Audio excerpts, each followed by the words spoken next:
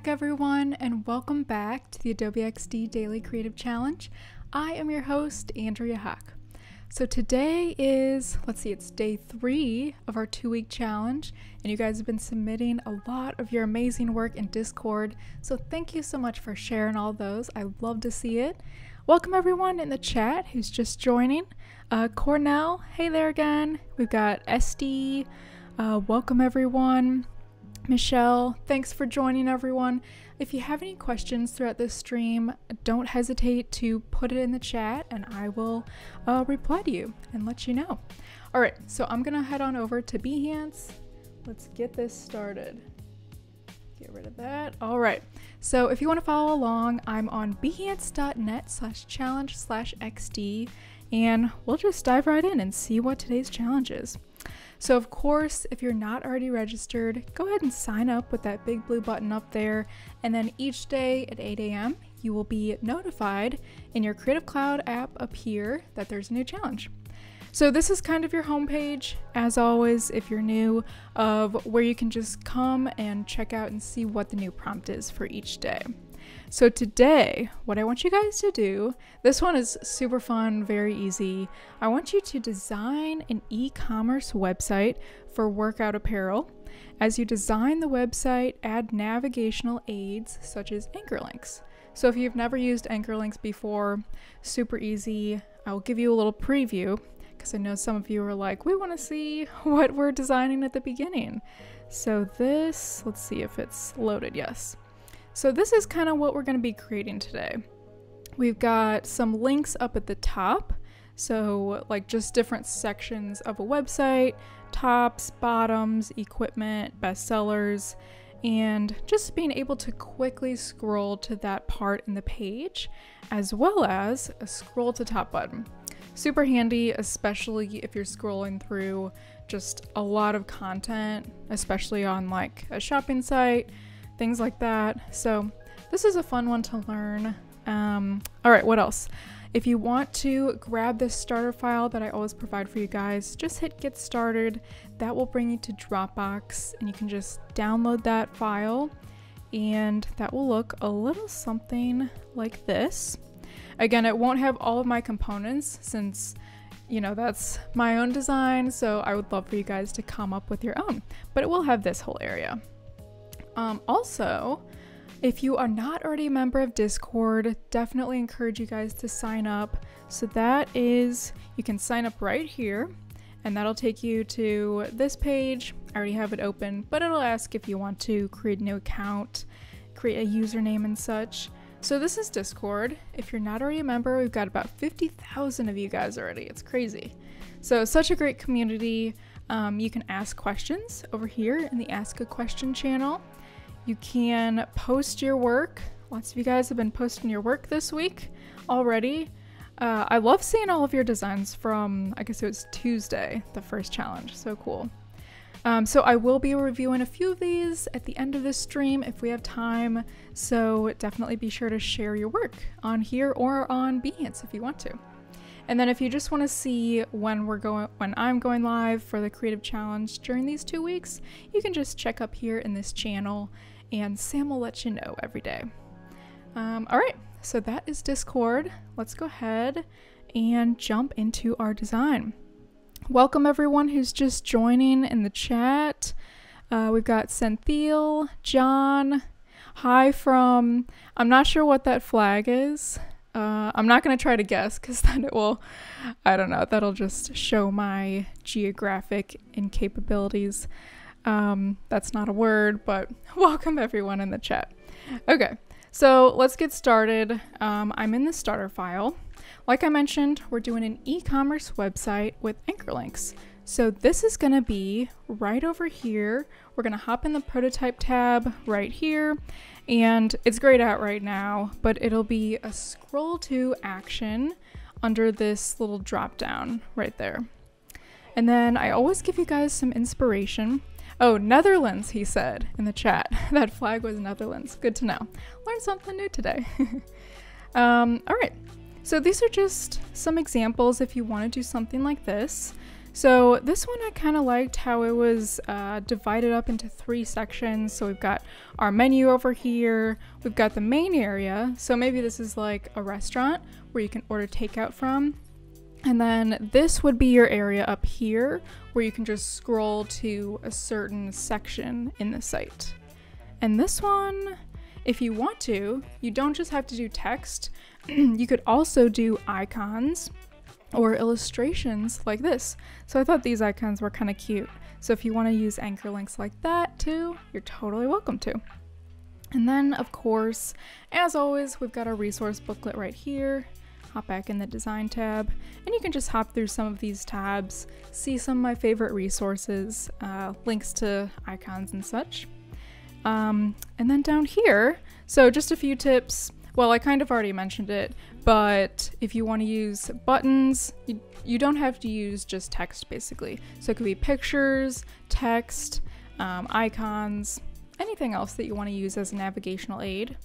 And anchor links in general just help users stay on your site longer since if they have to, they're trying to get back to the top and they're scrolling for a long time, that might make them just click away. So adding something super easy like a scroll to top button with the uh, anchor link feature is really handy. So I have already got this artboard started. So this is just 1920 by 1080. You can add a new artboard over here and then just scroll down and tap that one. Now I've already started the menu up here. It is pretty big. I just wanted it to I wanted to do something that I don't normally do. So, really focusing on all of these links right here. And then, guys, I am obsessed with this font. What was this? Um, Blenny. Isn't that just the cutest little and or ampersand? So cute. Um, so I always get all my fonts from, let's see, I have a, There we go one of these tabs open, just from Adobe Fonts. And then I like to look through these like curated sort of sections. So I found it in this one. This is the font or Spark font pack. So you can just look through those. Kind of a fun place to look for fonts. So we've already got four sections started here, bit of a tongue twister. So tops, bottoms, equipment, and bestsellers. So again, these are just gonna be sections that we can kind of scroll through. So I'm gonna start with just tops. And since this is a uh, workout, athletic sort of gear, it'll be workout, workout outfits.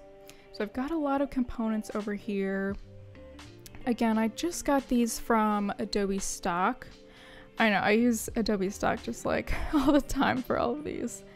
Um, so just, we'll just give it like a row of four sports bras. And actually, this was uh, actually just one photo, and then I took it into Photoshop because I wanted to have all of these have the same color scheme. So sometimes I do that if I'm being like really, I want everything super precise. So I'm just making this a row that you can kind of scroll through horizontally and adding some arrows on the left and the right sides here. And I kind of want I'm trying to line this up with like this line vertically right here.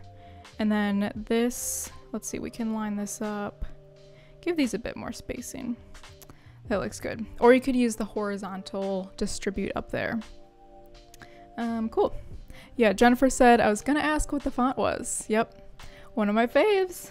My favorite of the week, this at least. All right, so let's scroll up. So now I just need like some product descriptions, so we can just say like diamond shaped sports bra. Cool. And I don't want this, I usually reserve the more like decorative kind of crazy fonts for just headers. Really just like the H1. No other, nothing else on the page because it's pretty busy. So this, I'm just gonna make Ariana Pro. And then I'll just center this right under and we also need the price. So we'll say this is like $50. Guys, sports bras are expensive. I'm telling you. It is crazy.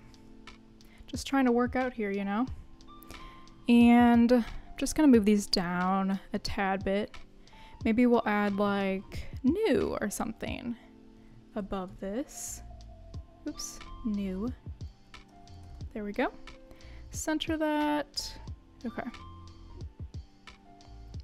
And then instead of, these are kind of just placeholders, um, but I'll just use repeat grid to bring some duplicates onto the rest of these. Okay. Space this out a bit more, looks good. Okay, cool. So that is my first row. Pretty simple. You know, I don't want this to be too busy, but really we're just focusing on these links up here, so scroll into them. Now I want to add these three other sections. So in order to do that, I need to select the whole artboard. So select that title up there. And then we just need to drag this down a bit, actually quite a lot drag this down. And then when we do that, you'll see that, oh, I unselected it. You'll see that we get this little blue dotted line, might be kind of hard to see, but little blue dotted line. And this is where um, everything that is above that dotted line means it's above the fold. So that is the only area that the user will see before they start scrolling. But if I want to change this, I can just move this wherever I want. I usually recommend just keeping it initially um, where it started at. Otherwise, you might not know what is cut off when, like, what the user sees. So I'm just going to keep it there. And let's just copy this whole section. Actually, I just want to copy this, this, and just the arrows in the text, not the photos. Copy that, paste it, and we'll just make another section. So this will be bottoms or pants or whatever you want, and I'll bring all my photos in. And I didn't bother getting rid of the white background on these because it's still gonna be, um, it's gonna be up here.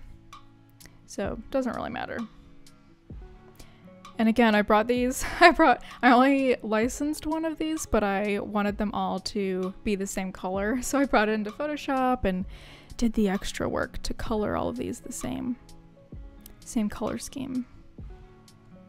Okay, so that looks good. Again, we could like rechange the text if we want to, but I'm not gonna worry about that. All right, so let's copy it again. Bring this down. Okay. And this will be equipment. Equipment. Cool. Oh, wait. I was looking at the chat instead of typing. Okay, so now again, let's just bring some of our photos in. Just kind of evenly distribute these. And I'm going to have to make this a little bit bigger here. Okay. Um, Cynthia asked, Google spreadsheet, what's the purpose? So yeah, I do have that uh, plugin in my plugins over here. Let's see, where is it? Yeah, Google Sheets. So that is for uh, if you have a lot of data and you don't want to have to input or like change everything across all of your artboards. So for instance, it's great for like a calendar. So you just input all of your days, uh, automatically in Google Sheets, and then it will update in XD across all your artboards. So that's a very useful one. I like it a lot. All right, last one. Copy and paste. And this will be best sellers. Best sellers. So I just want to add enough rows so we can show the scrolling enough. And I'll bring our photos in. Got a jump rope, yoga mat, and there we go. Okay. So that looks pretty good. Now, um, so before I start adding the scrolling feature, I do want to show you one thing that we need to change. So let's hop into the prototype tab and let's just preview it right now. And you'll see that when we scroll, there's some things that aren't necessarily, oh, well, I already did it. Never mind. Well, I was going to say, so normally like this, I guess I already did it. So this would be, oh, I see what I did. Okay, so we need to have this on home. That was on another artboard. Let's preview this again. Okay, so when I start scrolling, you'll see that nothing is, like this should stay right here, and we just wanna see the rest of this content scrolling. So what we need to do, I already previewed a different artboard, that was why that appeared like that. Okay, so we need to select, let's go back into the design tab. Select just everything up here, but not select the background. And we'll fix position when scrolling. And we also want everything here to come to the top layer. So when everything scrolls, this will all be below it. So let's go in our layers panel and we just need to drag all of these up. We've got a lot of layers on here. Just drag them all the way up to the top so that way all of those always stay above everything else. And we also want the background actually to fix position when scrolling. So just use that little checkbox if you notice something is scrolling when you don't want it to. So now when we preview, that looks a lot better. All right, let's add, let's go back into our assets panel, or actually prototype, now we can start adding the scroll to feature. So let's just, we'll go through each of these, select one of your links, and then just drag your little blue arrow down to whatever section of the page you want. And we'll select tops here. So our trigger over in the details panel over here, trigger, just tap, and our action will be scroll to. That's what we're going to use for the anchor links. Scroll to, destination since we dragged it.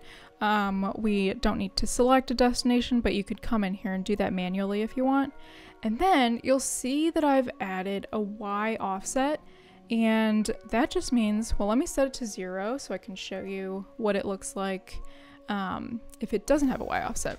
So let's just say we scroll down to the bottom, we wanna go back up to the top, and it did bring us to the top, but it thinks that we wanted to bring it all the way to the very top, like this part right here. But we actually wanted to just come right here. So that's kind of why I made this menu like really big so I could show you that feature. So let's go back and just add that negative 400. And you know, you may need to just kind of play around with that number to see exactly where, uh, test it out, see where you want it to land.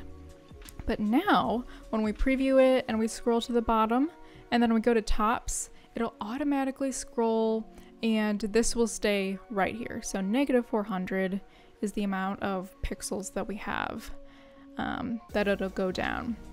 Cool. So now we can do the same thing for the rest of these. Let's select bottoms. We'll bring this, bring this down here. And uh, same thing. Usually whenever you, uh, whatever trigger you used for the previous one, it will automatically like input that for the next one. So same thing, scroll to, uh, same Y offset, negative 400, that's fine. And we can preview and see if that works. Perfect. And then equipment and bestsellers should just be super easy. They should be the same thing. Same thing. And bestsellers, go all the way down. and we can preview all, all of those now. So bestsellers, equipment, bottoms, and tops. Cool. Now, one other thing, if we do want to add, let's go back into the design tab. If we do want to add just a scroll to top button, we can add that right down here. And I'll kind of try to line this up with that. Okay, so this can be our scroll to top button. And again, I want to fix this position when scrolling, so make sure you check that little check mark right there. And we can play. Oh, I didn't add the uh, trigger. So this same thing as the tops one, I want this to go straight here. This is the top basically of our page when we click that. So we can preview. Let's say we scroll all the way down and we press that up arrow. And you can change the timing if you want it to scroll a little slower than that. You totally can do that. Um, but yeah, so that is a very quick little intro to navigation aids and scrolling. Okay, cool. So let's go ahead and Command S to save. And as always, if you want to save this as an MOV file, just press that play button and you can press the record button and then just tap around wherever you want and it'll save it as an MOV file. Cool. All right. And also if you want to export, just go to file, export, batch, and you can export it as a PNG or whatever you want. Cool. All right. Okay, so now let's go back to Behance and we can take a look at my project that I already have started. Go up to Edit. So make sure when you're in Behance, go over to that settings panel and in the discoverability tab right here, you have that keyword XD Daily Challenge so I can find your work and give you feedback if you'd like. Cool. So let's save and you can kind of see what I've been doing for my project. Let's scroll on down here. You can take a look. All right, so there is the MOV file that I've added to Behance. If you want, you can do that. You can upload it just as a uh, static PNG. That's totally fine too. Whatever you prefer. I always like to add kind of a little background, usually like this one, but feel free to do whatever you want. All right, so now I'm gonna look at some of you guys' work, one of my favorite parts. So I'm just going to uh, Behance, just searching XD Daily Challenge, and let me refresh this so we can see some new ones. There's been like a lot in Discord, so I'm trying to get to all of them. If I haven't given you feedback on Discord, uh, don't worry, I'm, I'm trying to get to all of them. So let's see. I've already got a few pulled up right here. Oh, this one was so cool. This is by Xena. Um, this was the one on Tuesday, so our very first, first one of the challenges. Okay, let me bring this back. So this was the uh, location indicator, sort of. So we used a 360 degree photo to kind of look through all of our pages. And this is so cool. I see, oh, it's so quick. I see you're using um, a little like blueprint, a face down map sort of of the house, which is so cool. And I like that you use that little circle indicator. That's a cool idea. Awesome. That one is so cool. That was Xena. Thank you so much for sharing if you're watching Xena. And let's go on to this one. Oh, uh, Jovan, I think I saw you in the chat, maybe. Uh, all right, let's scroll on down. So, um, cool 3D renders, like this little mock-up and the color palettes. I love that font. Playfair Display, one of my favorites also. See the prototype. And I think this is, yes, this is a video. Let's check out the video. This one was really cool too. Whoa! it looks so real. So we're in the living room and then dining room, kitchen. This is awesome. And then fireplace.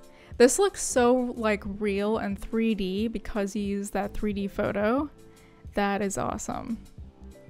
Ooh, and dark. Oh, at night. That's cool. That's really cool. What a nice touch. Awesome. Oh, how do I get out of this? Let's see. Okay. Cool. Thank you so much for sharing that, uh, Jovan. Sorry if I'm butchering your name. I'm not good with names. okay. Um, let's look at another one, maybe in Discord. Let's go back to the current challenge channel. Okay, day one. I kind of want to find one from just yesterday. Was this yesterday? Yes, so yesterday was the progress meter. So we did sort of a checkout flow and we have that progress meter at the very top. So let's let's look at this prototype. If I can get this full screen. Cool. Let me bring this back to the beginning. Card basket. All right, so we've got we can see our cart. We've got some cute fruits in there. And then step 2, we see like the payment uh, how much it's going to cost. Step three. Cool. And then checkout. Nice. It does get a little bit busy down here. I might suggest uh, just trying to maybe remove a few of these things on the last screen just so we don't overwhelm the user too much. But other than that, your uh, your progress meter looks really great. Thank you for sharing that. All right, let's go back to Discord. We've got time for one or two more. Okay, day two. This is another day two one. Let's see. Oh, another quick one. you guys make these so quick. Okay. Address. Awesome. Got our little animation up there. Payment. Very nice. The uh, white text on green is a little bit hard to read. Might want to make it um, something with a little bit more contrast. Maybe the green could be a tad bit darker. But I love your animation up here. That looks awesome. Thank you so much for sharing. That was uh, True Shield. Very cool. Let's see. Let's look at this one. Or did I already look at this? No, I don't think I did. Okay, this one's by Edith, and this is the one from Tuesday. So again, location indicator. Let me bring this back so we can watch it from the beginning. Awesome. Swimming pool. Wow, this is a fancy house. Outdoor dining, lounge area. Oh, it's like for a vacation place. That's cool. Vacation home. That is so cool. Awesome. All right. Well, thank you guys all so much for sharing your work. That is about all the time that I have left for today. Uh, let me know if you have any questions. I'll be in Discord after this, checking your work and giving you feedback. And don't go anywhere because in about five minutes, we have our draw along with Kyle Webster. And I'll see you guys again tomorrow at the same time, 2 p.m. Pacific. Bye, guys.